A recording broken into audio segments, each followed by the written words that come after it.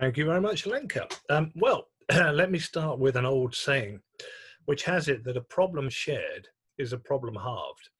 Now, you think about that, and I suppose if you unpack it, you could imagine that in times of crisis, we naturally sort of hunker down and try and internalize and work out how to deal with something. But it's curious if you do have a problem, how often sharing it, other people can help with it. They want to help with it. You get great human nature, particularly at a time like this. And so sharing your problem can really help you deal with it. And that is basically the root of crisis communications. And at this point in our history, this dreadful time of coronavirus, how communicating can help you get through it. And that's what I'm going to share with you over the next half an hour or so. And thank you for the um, the intro, Lenka. Um, expert, well, I'll let you judge about that. But um, my credentials, I have my own media and public relations agency, Creative Warehouse. I teach communications at the University of Cambridge and in government departments. I'm also an author. I've had a few novels published, done other bits and bobs, and I was a BBC News correspondent for 20 years. So those are my credentials for talking to you today. Uh, so crisis communications, because um, I'm a fairly simple creature, I've broken it down to thinking about it like this. Let me introduce you to the ABC of crisis communications. And A is anticipation. Now, you may be thinking, anticipation, it's already happened with coronavirus. But actually, it's generally thought things are going to get worse still. Oh, dear. Sorry to say that and depress your Wednesday. But there are worse things to come, and that means worse for us as businesses, companies, and organizations. So the best thing you can do is to be ahead of the curve and try and anticipate what may be coming at you next. So you're in a stronger position to deal with it. So the first interaction I'd like to do with you today is just to try and list a bit of a coronavirus chaos catalog. You've already been whacked around by the virus, we all have. But what could happen next? How could life get worse for you, your company, your business, your organization? So try and predict three, four, five, the top five things which could cause a really bad impact on your company, your organization, maybe you as a sole trader. I know many of you are. What could happen next which would really make things worse? So let's just do that for a couple of minutes as our first interaction. And then Lenka will see some of your thoughts coming up on the screen. She'll share them with me. We'll make a list because a lot of this is helping each other. We'll be able to get ideas like, oh, I hadn't thought of that. Really good point. I'll be ready for that as well. So just have a couple of minutes, think about that. And then when you've thought about three, four, five big issues that coronavirus could cause you next, type them in, Lenka will read them out, and then we'll have a look at some of them. Fantastic. And in the meantime, I just want to say hello to everyone who's joining us. We have about 17 people watching live. We have Pamela, we have Krisha, we have Ella, we have Sylvie, we have Charlie. We have a lovely bunch of people joining us today. So thank you so much for your comments. Hi, Lenka, thank you for arranging this. So thank you, Simon, for saying yes to my question to do this. So please leave your comments under the live video. I can keep checking uh, and let us know what kind of coronavirus chaos catalog you can build for your own company. Uh, in my own um, business, I started thinking about it in terms of obviously it's the client.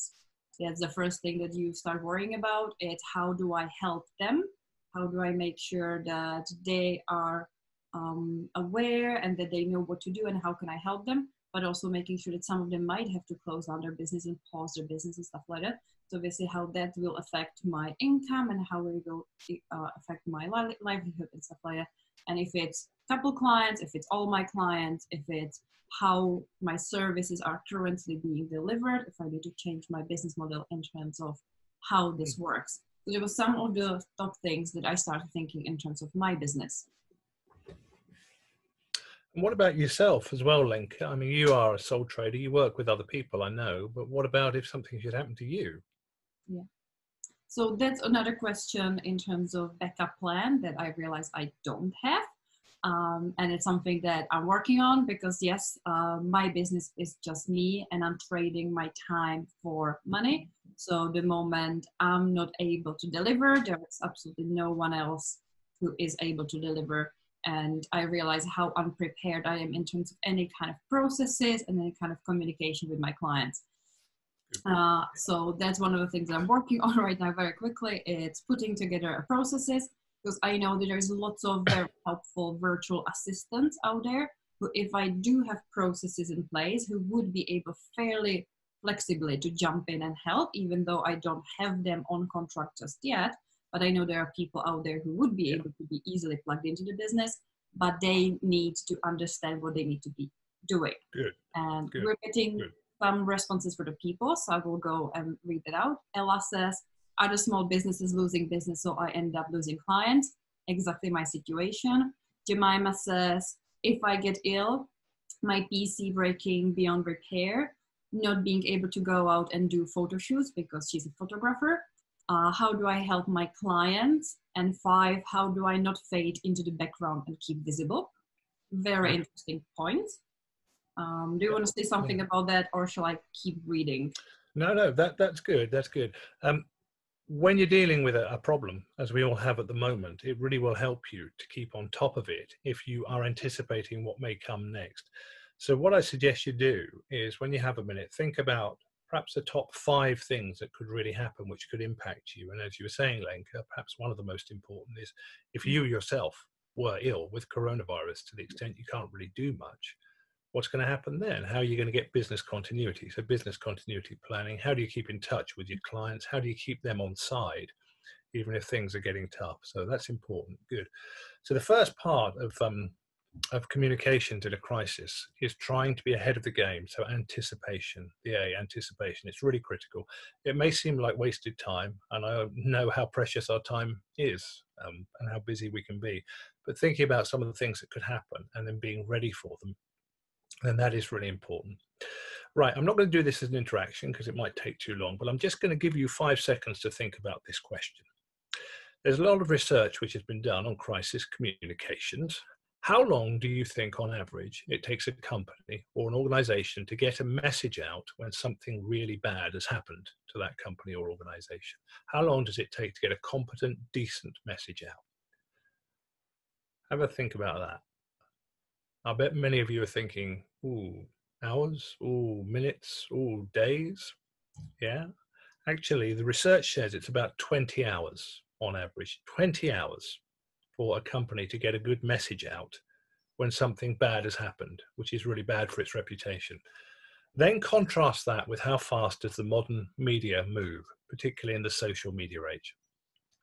So if you're waiting 20 hours to get your response out when something bad has happened, the problem has already run away from you. You aren't going to get it back because there'll be so much out there on social media, so much gossip, so much talk, and on the mainstream media if they pick up on it as well. So that leads me to the next really important part of the A of crisis communications holding statements. Now, Creative Warehouse is my company, and I like to think that I do something useful for it. I'm the director, I do business development, I basically do project management. Um, people who work with me might disagree, however, I think I do something useful there. So imagine there's about 12 of us in the company. Imagine something happened to me as director. I was struck down by coronavirus and it was quite severe to the extent that I couldn't really do anything useful. There would be concern amongst our clients, and we've got quite a few. Word would spread it could cause serious damage to the business. There could be a panic. I could be getting messages. I might not be able to deal with them. It'd be a very stressful situation because I wasn't ready for that particular eventuality. Holding statements. When you've got your top five things that might disrupt your business, think about what you would put out in terms of information if these happened. Be ready, be ahead of the curve. So if some stuff starts to appear on social media, you've got something ready to go. And I'll give you some examples about how you do this. There are three steps to holding statements. The first one is empathy. Human beings are full of feelings, and empathy is always the first stage in anything. When something bad has happened, you feel for the people involved. So, if I was struck down, empathy, first stage, our thoughts are with Simon and his family and friends. Always start with empathy. You'll notice politicians uh, on the news when something bad happens, they'll always talk about the people involved the carers. For example, at the moment, NHS, wonderful people working really hard. Of course they are. Empathy is always your first point. But then you have to move on and you have to do something concrete and take some action. Action means taking responsibility. So the holding statement for this, for me, might be there's a comprehensive list of creative warehouse clients and projects, a plan in place for continuity of service, and we, his 10 associates, will step in to cover. So hopefully that will then reassure our customers that we are on top of it everything isn't going to go horribly wrong because some of this stuff we're doing is against deadlines. They can still rely on us. Empathy first, action second, and thirdly, and this is really important because no end of companies are always being caught out by this, and politicians too, as well. Realism. Be honest and be transparent. It's no good trying to pull the wool over people's eyes and gloss over a problem because it'll come back to bite you. When you can't do what you say you're going to do in a few hours or a couple of days, they'll be saying, well, What's going on? What's going wrong? And then you lose trust, and trust is precious. So in this case, if it was me struck down at Creative Warehouse, there are 57 projects of all stages of urgency and maturity, so it'll take several days to talk to all our clients individually regarding their specific needs. Three stages of holding statements empathy, always the feeling first. Action, take responsibility. Yes, we know coronavirus is affecting everyone and everything, but your bit you take responsibility for with your business. And then you go on to deal with it and you deal with it realistically, honestly, and transparently this is how long it will take. It's going to take five days. It's going to take five days. Be honest, real, and transparent. Otherwise, you will just get caught out. So, again, for a little interaction, just have a couple of minutes to think about, and I really hope I'm not fating myself talking about getting the thing, or you either. Think about how your business would cope if you were struck down. If you're a sole trader, particularly, is there anyone you can rely on who can put out these holding statements for you to help you? And what would the holding statements say? So just have a couple of minutes to think about an instance where, bless you, I really hope this doesn't happen, where you get the bug, it's pretty bad. What are you going to put out because your clients are thinking, well, what about my service? What about what they're helping me with? Just have a couple of minutes to think about that. And in the meantime, I will go back to some of the comments that we've got. And on your question, how long it usually takes for companies to get their ducks in a row, Ella said less than five minutes. So obviously, oh, you'd be lucky. It takes eight. They're awful. uh, and then she commented saying, only need to look how quickly news move through Twitter, which obviously Twitter is one of the newsworthy platforms where whenever something happens, we go to Twitter for the most relevant, up-to-date news these days, be it for companies, be it from media, be it from other people. And yes, uh, Twitter moves very fast. The tweets go one after another, and the time expected uh, of companies to react is usually an hour it's not uh, a day or two. So people need to be very flexible. Uh, so we are getting a couple of comments. Lillian says, how do you convince your bosses that empathy is important where they want to give a corporate blanket response? Empathy is absolutely critical. If you don't show empathy, you won't get anywhere in life. You've got to feel for people. You've actually, you know, if, if there isn't empathy, there isn't anything really, because we are humans and feeling creatures. So find some way to, I don't how do you convince people? If someone hasn't got empathy, it's really hard to convince them to have it. Try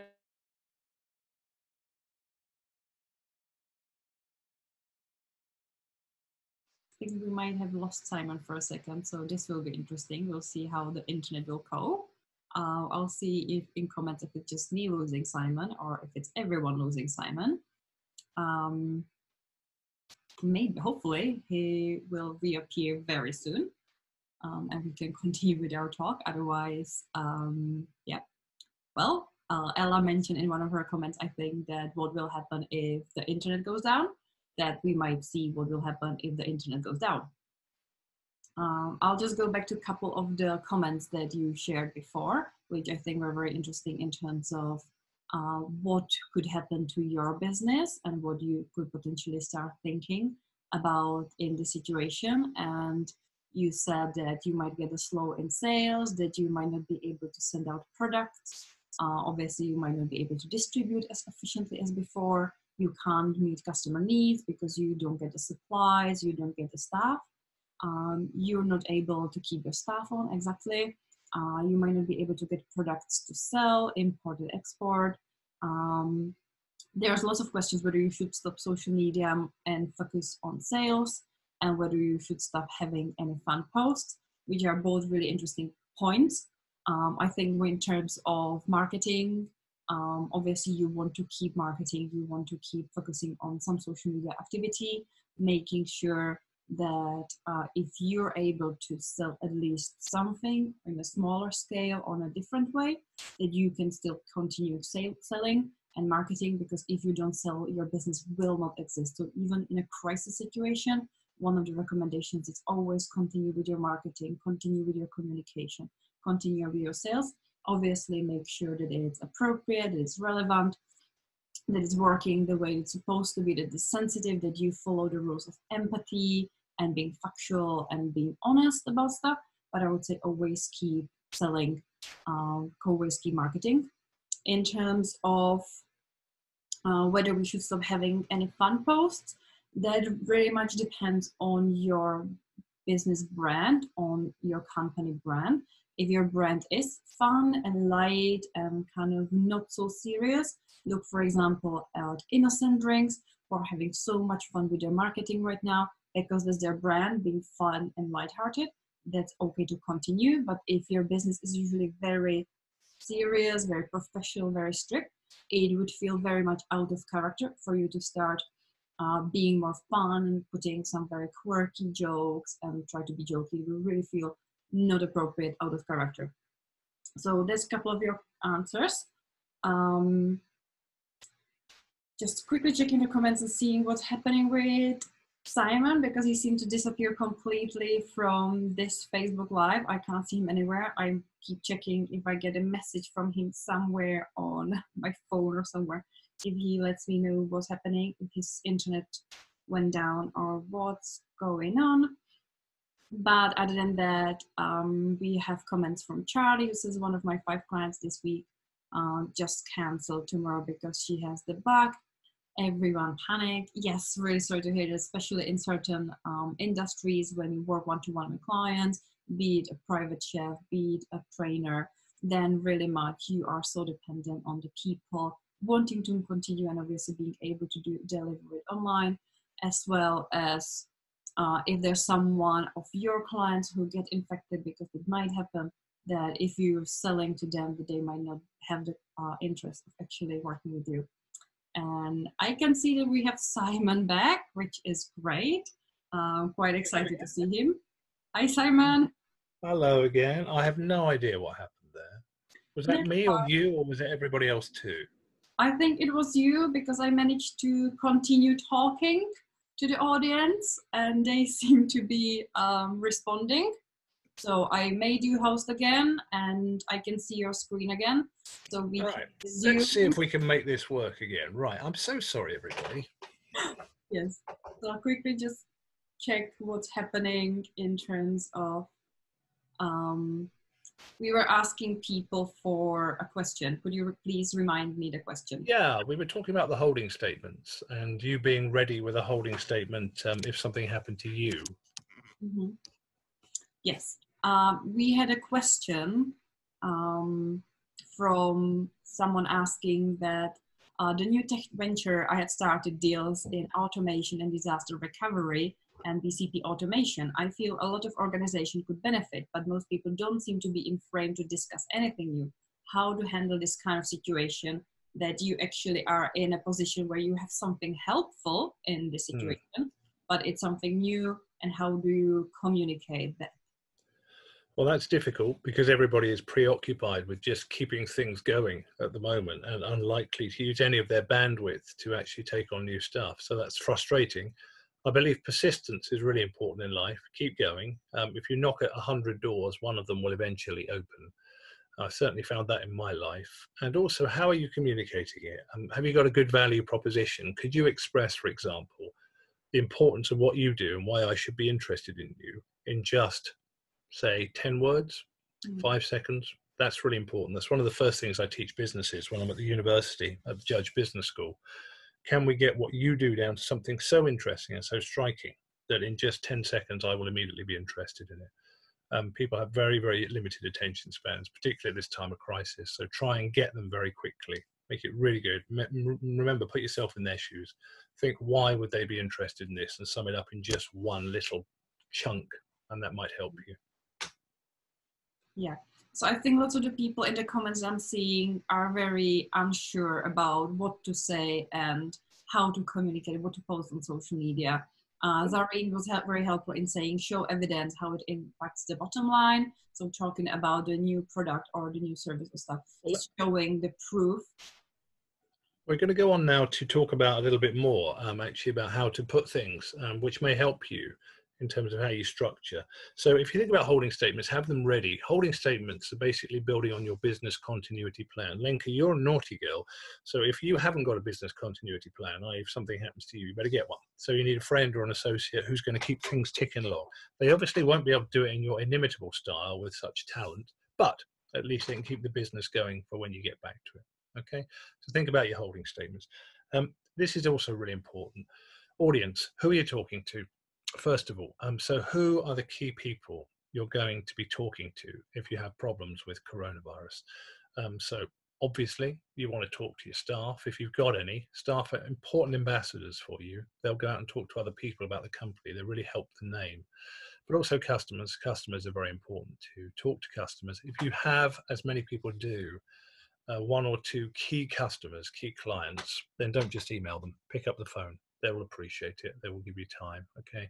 Sometimes the personal touch for the big ones is really, really important. And you'll have stakeholders as well, people who work with you. You might have shareholders, you might have investors, you might have people who run the office for you, whatever. Um, make sure you get a good categorical and comprehensive plan of everyone you need to talk to with your communications. It's very easy when a lot of bad stuff is happening to forget someone, to slip between the cracks. So have an idea once you've got your your idea of what could befall you and you've got your holding statement, your business continuity in place, who are you going to be talking to, the key people to talk to, and also how are you going to talk to them? Um, you've got various channels open to you. Social media is obviously one to talk to more generally to the public, but you've got email you can talk to your customers with, you've got newsletters, you've got your website as well. Don't forget that. That can be quite important and um, uh, phone calls, video calls as well. For your big clients, I would certainly recommend talking to them in person because it's really important to keep them on site. Okay, so that's the ABC. Um, that's the A of crisis communication. So let's go on to B, which I think may help you when you're asking about your new product um, and how it could help at this time. Um, B of the ABC is this fella, boom, when the crisis hits. And the key to this is this quote from Warren Buffett, the business guru it takes 20 years to build a reputation and five minutes to ruin it. Absolutely true. Absolutely true. So the key when problems hit you is fast, effective, clear communications, action, and then communicating it. So let's have a look about how you communicate, what the critical things to think about communicating when crisis strikes. And to do that, I'm going to introduce you to a case study. Um, Lenka kindly, when she sends out the joining links, will also send you a little attachment as well. This is a classic case study of how to handle crises and how not to handle crises. This is Tesco versus BP. Tesco a few years ago, horse meat was found in their food. Uh, BP, uh, Gulf of Mexico oil spill, 11 men died in that. It was a dreadful pollution, a disaster, environmental disaster for a beautiful body of water. So on your handouts, just have a, a read about how Tesco handled their crisis and then how BP handled their crisis. Compare and contrast. And when you've read, start to type to Lenka some of the lessons you've learned from that about how to manage a crisis. So you can find this PDF in the group. I shared it just an hour before um, our live. So you can just go to the previous post and you will be able to find a PDF with the case study. Um, I will just uh, share a comment that Krisha just shared, which says, I'm a holistic therapist and dependent on clients. I set up Instagram and hope to help people through social media posts. I've had clients call me worrying about getting sick and worrying about not having an income, but under the current circumstances, I'm not charging. It's very kind that she's offering some support for free and just offering some consolation. Um, what is your view on this when people right now don't have any client work potentially or have less work on uh, helping others, be it for free, be volunteering, be it in other ways? Well, I think it's a great thing to do. I think it's a great thing to do on two counts. Uh, first of all, it's the right thing to do. Um, my company at the moment, we are dealing with two coronavirus projects one emergency ventilators and one a group of doctors who've got a, a labour time saving and I think life saving idea for the NHS. Um, nobody is being paid for that. I'm not being paid. None of my team are being paid, and that goes from writing to graphic design to website building for them. It's the right thing to do. It helps us all, and also makes us feel better. I mean, these times are difficult. We feel better within ourselves if we help. So I think it's incredibly noble. I think it's absolutely the right thing to do. And I also think if you want to talk ruthless commerciality, you know, this will benefit you in the long run because there are people who are dealing with this well and there are people who are dealing with this badly. And everybody wants to work with people who are good people, reliable people, kind people. People don't want to work with those who are nasty, just too commercially minded, too ruthless. So bear in mind, keep your reputation going through this, and you've built it up. People will want to stay with you and help you. So when we're at the other end, you'll still be able to continue. Not quite as though nothing had happened, because nothing will ever be the same again, I think, but at least you'll be able to continue. So thank you for that. That will be appreciated. Yes. So we're still waiting for comments in terms of people reading the case study and looking. It takes a while to read that handout, doesn't it? I'm just looking at it myself. It does, and also there is a little bit of a delay between what we talk about and what we say, and obviously what people see and them being react. So obviously, and it has to be a brief comment. What lessons are you learning? What did Tesco do well? What did BP do lamentably badly? I think from I had a look at it, and from my um, view and from what I usually would expect from a company uh, to do well, and I think Tesco did it well, is the ownership, yeah, taking the responsibility and be uh, open about yes, we are aware this is our fault, this is our mistake, this is our thing. We accept the responsibility and we will deal with it, which I yeah. think is often the biggest mistake that you companies make. It's trying to shy away from accepting the responsibility and trying to blame someone else. Yep, very good, Lenka. You could have been a crisis communicator and a disaster manager. Absolutely spot on. Okay, should we have a look at um, the lessons learned from that so we can all see what they are? Yes, we just got a quick comment from Lillian. Denial is not the right response. People want you to be honest. So exactly yes, Absolutely, yeah. And let's look at the lessons learned, bring it together. Um, recognize the gravity and react immediately. If something bad is happening, don't stick your head in the sand. It's got to be dealt with. React immediately. Otherwise, it'll get away from you. Take ownership. It's no good trying to pass the buck like BP did. It's your problem. You deal with it. Deal with the problem is show it. Don't just deal with it. Come out and show that you're dealing with it. Look how Tesco did that. Be honest, open, and transparent. As I said to you, it's important to be honest. Otherwise, you'll just get called out later show empathy. I keep going on about empathy. You think I was a nice guy, really. Um, show empathy, be sensitive and be sincere, and regular reviews and updates. Don't just let it go. Keep seeing how you're on top of it. Keep updating people about how you're getting on. Those are the lessons of um, crisis communications and disaster management, really. It's important. Do that a lot. If you do that a lot, remember what's happened with BP. You mentioned BP now. Anybody will say, oh, that Gulf spill, that was absolutely dreadful. Um, you mentioned um, the horse meat scandal. Most people have forgotten it. And that's down to the way it was dealt with by the respective companies. So um, you've got messaging to put together. How do you do it? Let me introduce you to what we in the comms industry call the message house. This is a very standard way of putting together a message, and this may help you with your question about you know your new venture and why you're not getting any traction with it. This could help. This is a little bit theoretical, um, but I'll just show it to you and then I'll show you a practical application. the umbrella statement of the message house, the roof, that is the most critical part. Imagine to yourself, if I was talking about this issue or getting a communication out about it, what is the one single thing I would want people to remember more than anything else? That is the most important thing you put over. Below that, you get core messages, and there should only be three. People have limited attention spans, they can only take a certain amount in. So, three core messages after that. And the foundations there at the bottom evidence, proof points, support. So, that's theory. Let me show you practice. So, imagine my instance again of my company, Creative Warehouse, me as director being struck down. What would the message house look like? So, the umbrella statement, the most important one business continues as normal despite Simon's illness if there was one thing I wanted customers and people out there who might be customers to remember, that business is continuing despite me being stricken. That's your umbrella statement. Following that, your core messages. Co-director John, who's um, was much higher in the BBC than I could ever aspire to being, um, very clever, very good. He's going to run Creative Warehouse from now. Other 10 staff from places like Google, Guardian, Times, Independent are well and work on projects including websites, media training, public relations, etc., etc. That continues by video calls and meetings. Umbrella statement: We're carrying on. We're carrying on. Show goes on. Three core messages. John's going to look after things in my absence. The rest of the staff, they're still fine and doing stuff. These projects are continuing. Okay. And evidence, proof points, and support at the base there. All customers, including Downing Street, Cambridge Uni, Home Office, private companies, have been contacted. They've been told they're happy with the arrangements.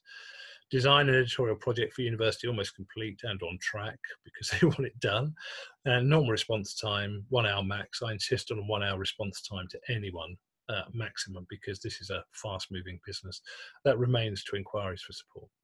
So see how that works. Your umbrella statement, what the most important thing is to say under that, your core messages one, two, and three, and then evidence, proof points, and support. And if you structure your communications in that way, you tend to find you get a better response because people are brought in, they're intrigued, they're drawn into your messaging by the opening. Then you get the three after that. Oh, yeah, still quite interesting. They keep reading. If you structure it that way, you'll probably have more success with your communications. Okay. And one more thing to mention here updates. How frequently do you update? Um, you have probably all been bombarded by messages from the CEO from every blooming company you've ever had any interaction with in your life. They very quickly became tedious. They very quickly became irritated. It doesn't work. So, how often um, be sparing with how you communicate by email because people get fed up with it you might want to send out one every week or couple of weeks. Social media is different because that's fast moving and short bits, and I kind of choose to be part of it. And website's very different because I'm choosing to come to you. So you can update your website as much as you want. That's my choice to come to you. Social media, not excess excess, but you can use it a bit more. Email be sparing with. People are fed up with getting communications. A message from the CEO. If I see one more of those, I'm going to scream. How long? How long should your updates be? Keep it short and simple. Go back to the message house. What's the most important thing? What are the three core messages? What three bits of supporting evidence can I put around that? And then stop. Because there's few things more off putting than a great big long communication. People just move on. Keep it short and simple. The old acronym for communications KISS. Keep it short and simple. And this is an interesting one. How do you put it? How do you communicate? What is your tone? What is your voice? We call it in the writing world. Some people are very straight and they're very dull and they're very dusty and they're really boring and they don't get much attention. My experience, the best way to communicate is with humanity and a bit of humor. We always like humor. I know this is a dreadful time. I get that. I've lost a lot of business. Friends of mine are ill. It's a desperate time. But also remember, in the Second World War, part of the reason we got through it was we all kept laughing. It was a really important part of what we did. It's a symphony of our lives, humour. So humour is important as well, seeing the laughable side of things. And I just looked at some social media posts recently to give you an example of things which have worked well.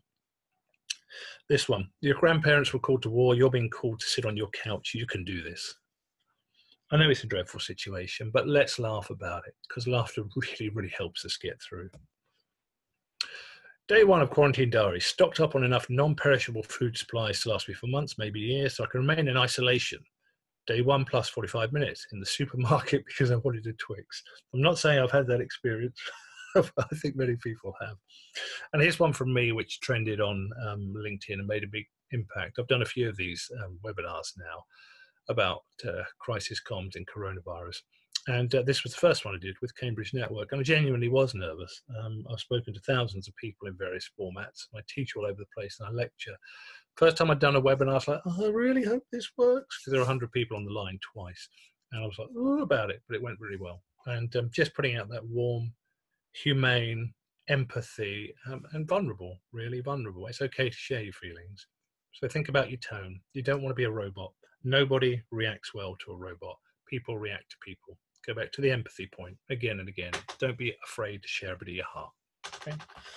So, um, on to the C of our ABC of crisis communications. You'll be glad to know we're nearly at the end. Cleaning up. This is one thing which is also worth mentioning. There will become an opportunity to actually get some interesting, upbeat, better news out there. So, I want to introduce you to this problem the online memory. Now, why are you looking at some fish and chips there? Why indeed? It used to be said that today's newspapers were tomorrow's fish and chip wrappers. That's changed with the online world. The online memory now means that if there's bad news about you or your company, and people look you up on Google after this, they're going to start seeing bad news. And I use this example here because I was in Northern Ireland working with the executive uh, a couple of months ago. I went to the Titanic Belfast, a very moving place. But now, if I went to Belfast in a few months' time as a tourist when all this is over, and I looked up Titanic Belfast, this is one of the first things I'll see on Google, and I might think, oh, don't want to go to that. That's probably closed down or not very nice or whatever. It's a bad piece of PR. So you want to try and get some news out there, whether on social media or in conventional media, any way you want, which is much more positive and upbeat. And you have what's called the window of opportunity. And you'll know this has opened when at the moment the news is 95% dominated by coronavirus and it's all miserable. My main news bulletins of the day are six o'clock news on Radio 4 and uh, the eight o'clock bulletin on Radio 4. And at the moment, the six o'clock, which is half an hour, is 28 minutes of uh, coronavirus news, followed by some story about someone dying. It's really not cheery. When that starts to peter away, so there's only about 10 minutes of coronavirus news, that's your window of opportunity opening up. Now, that's going to be a few weeks, might even be a couple of months. But that means that the media are now looking for other stories and people are talking about other things because the media just reflect what's going on out there. That means there is still an opportunity because we're thinking about coronavirus, but we're thinking about more upbeat, more positive things. So try and get some of those out there at that point and try and shift off the first page of Google the bad news, which people might find about you or your company. And things you could do, I mean, you could have a celebration of kicking the coronavirus, conquering coronavirus. You could hold a party for your customers. You could give them big discounts for sticking with you, being loyal. You can make a donation to a medical charity. Creativity is endless. There's lots of things you can think of. But if you can get some good news out there at the end of this, it will really help you and it will shift the bad news off the front of Google and it'll start to look much better, look much better for you. Okay, so I'm almost finished. You'll be glad to know. Summing up, ABC of crisis, coronavirus crisis communications. A, anticipation, holding statements. Think about who you're talking to, who might be there to talk to them, um, and how you do it. Uh, boom, recognize and react, own and act. Um, so BP versus Tesco, you know, all the lessons are in there. And cleaning up, online memory, the window of opportunity. I'm going to say one final thing um, before we have some questions. And this, I suppose, is, if you like, the golden rule. And see, I put it in yellow. These things aren't just thrown together. The golden rule of dealing with crises and crisis communications. The golden rule is this hope for the best, but, and the example I'm going to show you is from 50 years ago and one of the most extraordinary feats that humanity has ever managed. And I'm going to show you this now. Just read it for a few seconds. And then we'll talk about why I showed it to you. So just have a look at this.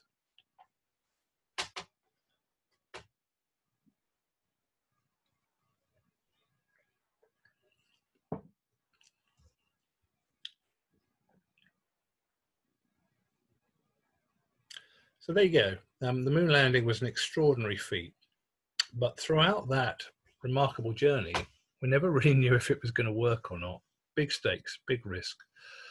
Hope for the best. Let's hope it works out. And thankfully, we know it did, but prepare for the worst. So, that was a speech which was written for Nixon, who was president at the time, just in case um, the two astronauts got to the moon and something went wrong and they weren't coming back.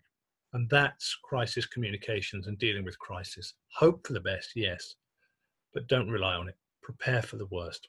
And one final thing to mention about that, although that was an extraordinary feat to get man to the moon in under 10 years since Kennedy issued the challenge to his country, it was an enormous challenge, but in the end, we got through it. It worked out. It was a success. This, what we're facing at the moment, is also an enormous challenge, but I also do believe in human spirit I believe in empathy. I've mentioned it a few times. I believe in ingenuity. I believe we can come through it. So, although we're preparing for the worst, I think there are better days ahead. So, I hope you take that with you. I hope that was helpful. And if you've got any questions, assuming my internet sticks with it, then I'm very happy to answer them now. Uh, brilliant. Thank you so much, Simon. We got a couple of comments. Olina said in uh, reply to your advice about how to communicate she said, true, I appreciate companies that only send a couple of short emails only when there were news and updates. So just get to the point, give me the update, but obviously I don't need a massive long letter of heartfelt feelings and fluffiness from everyone. Uh, Ella said, this is all such useful insights. Thank you. You're helping me to see the bigger picture. And uh, we have more positive feedback. We what an insightful session. Many thanks for sharing. I can't see any questions just yet, so please, if you have any questions, if there's anything that you would like to check in with Simon, you would like an advice, if there's any practical examples or anything you would like to see, please do let us know. We have Simon for a couple more minutes. Um, but there's more lovely thank yous coming from uh, Pamela and Ali and Kelly. Thank you all so much for joining. I just want to see so many of you who are joining us for this lunchtime session. Uh, someone has already asked about a recording. Yes, this video will be available in the Facebook group for replay, but we will also be uploading uploading the video with Simon's handout and his slides to our Cambridge social media website into the resource page. So if you if someone is watching this and you're not on Facebook, that's absolutely fine. You can still watch it. And um, before we get any questions, if we get any questions, I would like to tell you about our upcoming event. So we will, we're trying to do something like this once or twice a week. And next week on Monday, we have Chrissy Buck, uh, who you might remember from Cambridge Social Media Day last year. She represented Quick, and she decided to set her own venture this year and Digital Neighborhood and she will be talking next week about her four C's for community building. So she will help you understand how in this crisis you can actually build and grow a community, nurture a community, and use community management on social media to grow your business after the situation. And on Friday, Thursday or Friday, I will double check the date. We have our um, community manager, Tana, talking about social listening. So she will help you understand the tools and she will help you use them and use this time again for social listening to see what brands and companies and people are saying about your company and how you can potentially as someone said plan some good news to balance if there's something negative happening out there. But i can't see any more questions coming so i will expect that everyone was absolutely blown away and has all they need from your session simon so I will just say a huge thank you. And if there's anything else, if you have a closing remarks, please go ahead. No, only say thank you for listening. Um, I do genuinely believe we will get through this. Um, and don't forget to communicate. You'll be amazed. I have seen wonderful examples of people looking after each other through this. Um, maybe that's one of the bright sides that will come out of it. I know many of you will work very, very hard to build up a business with lots of customers. You'll have put heart and soul into it. I do believe that they want to help you through this. So communicate with them, keep them on side, and that might just uh, help you get through this all right. And in the meantime, if I can help with anything, my contact details are there. Good luck. Good luck getting through this. And I look forward to seeing you in person when we're finally allowed to actually socialize again. What a day that will be. Look forward to that. And thank you for inviting me, Lenka.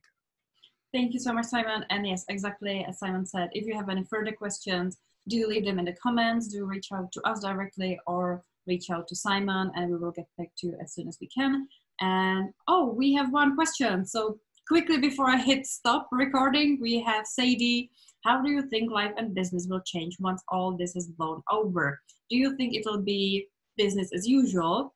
Or do you think there will be a shift in attitudes and approach? I think small businesses have been the savior in this situation. That's a very big question. I think there will be a shift. Um, I think um, many bosses only think that people work when they can see them.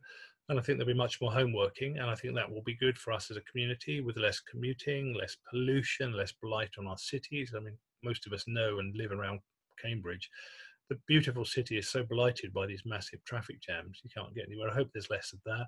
I hope there's more sense of community. People realize that you can talk to your neighbors and you can actually get on and you can do wonderful things together.